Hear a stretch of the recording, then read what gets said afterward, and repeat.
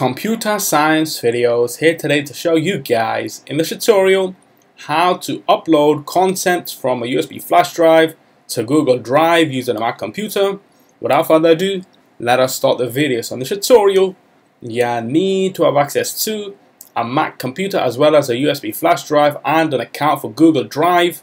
We can now start the tutorial before I start this tutorial, I would like to say that you are more than welcome to subscribe to my channel, Computer Science Videos. As we know, every problem is solved by indirection. You can also follow my Twitter account. We are trying to grow as fast as ever. I'm on TikTok. We post videos here and there. Follow my page on Facebook. I'm also on Instagram you are more than welcome to support me on PayPal. Let's now focus on the video. So now let's go down to the dock. Go to Launchpad, go to the web browser, Google Chrome. Wait for that to load. Once it is loaded, now let's go to Applications, go to Google Drive. Make sure that you are signed into the account via your Google account. Once signed in, let's now minimize the web browser for a moment insert the USB flash drive, wait for that to load up on screen. There we see USB-1, click on this to open up within Finder.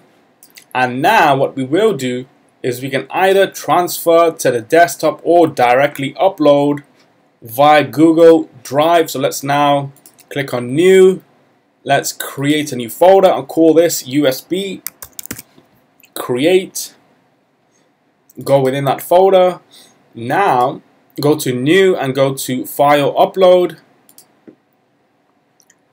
Navigate to USB-1. Let's now highlight a document, a video and an image as well as a zip. Click on open. You will now see this being uploaded in real time to Google Drive. All the content on screen and we can click on the image for that to open up. On screen wait for that to load. And there we have it. We can click on trial document. This will open up in Google Docs. Opening the file in Google Docs. This could take a few minutes. There we go.